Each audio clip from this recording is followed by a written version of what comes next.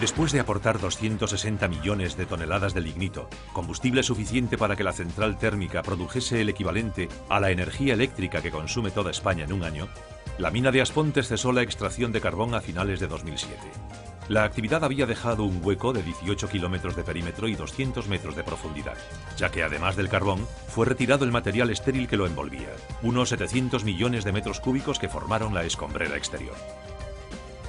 La explotación se realizó por el método alemán, empleando grandes máquinas excavadoras para la extracción y apiladoras para depositar el material estéril. El traslado de lignito y estéril se realizaba por medio de un complejo dispositivo de cintas transportadoras. En el momento de mayor actividad, la plantilla de mineros superó las 1.400 personas. El final del yacimiento podría haber ocasionado graves consecuencias para la zona, pero Endesa ya había diseñado un plan para evitarlo. Las medidas tenían en cuenta tanto los aspectos sociales como los medioambientales.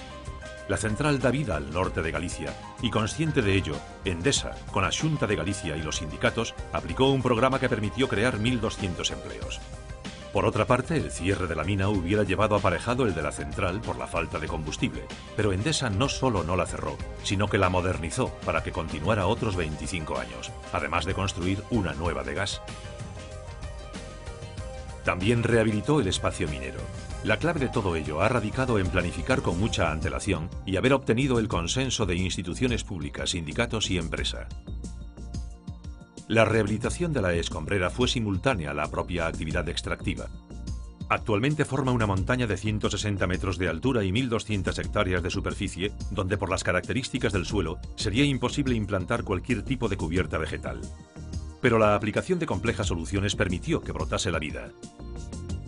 En la escombrera crecen ahora miles de árboles, extensos pastizales y hasta numerosas especies de animales vertebrados como zorros, jabalíes, corzos o aves singulares. La colonización por la fauna se produjo de forma natural, lo que demuestra que el espacio se ha convertido en un ecosistema maduro. El lago comenzó a formarse en 2008. Entre ese año y 2012, Endesa aprovechó el caudal excedente del Eume y de otros ríos, también captó el agua de la escombrera exterior y la propia lluvia caída sobre el hueco.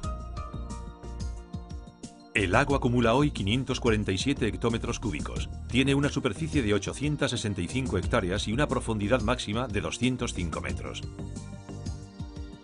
Parte de las orillas están protegidas por escollera, mientras que en la zona más próxima a la villa de Aspontes se construyó una playa y la isla de Santa Bárbara. La calidad del agua fue objeto de máxima vigilancia. Se aplicaron medidas preventivas para conseguir una alta calidad como el sellado con arcillas de los afloramientos carbonosos, restauración de las superficies emergentes o adición de cal durante el proceso de llenado, entre otras. Además de los usos lúdicos y de la trascendencia ambiental de este proyecto, el lago atesora un alto valor estratégico. La reserva de agua ofrece oportunidades para usos productivos, turísticos y deportivos que aportarán nueva riqueza a la zona. Con su proyecto ambiental que ahora culmina, Endesa, tras aportar bienestar para todos generando electricidad, ofrece ahora a Galicia riqueza restaurada.